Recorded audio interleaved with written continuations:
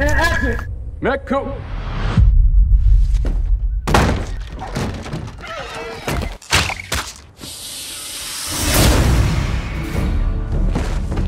Red Harvest, he's kind of a loner. He's Comanche, but he's not with his tribe. Naman na.